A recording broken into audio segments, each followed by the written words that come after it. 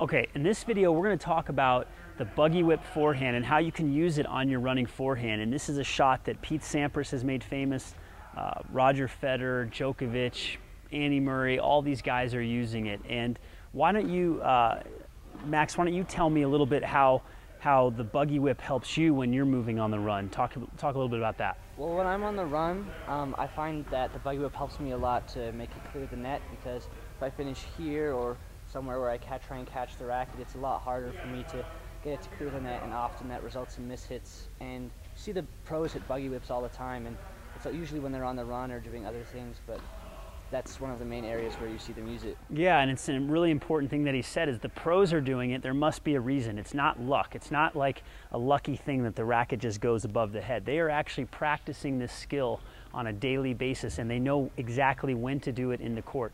So Max is going to go ahead and show us right now where he is with his running forehand. And there's a specific way to move to the ball that we'll get to in another video but we really want to focus on what the hand is doing in this particular for in, in, this particular video with the running forehand. Now the running forehand the distinction here is that you're basically on the run. You're not on the dead run but you're also not able to load up the leg and pivot. You're still going to be crossing over your foot. So Max is going to uh, you're going to be crossing over with your inside leg. So Max is going to show us that right now now it's time to go through the running forehand and Max is going to go around the circle that's on the ground there and work on moving across the court, showing us how great his running forehand is.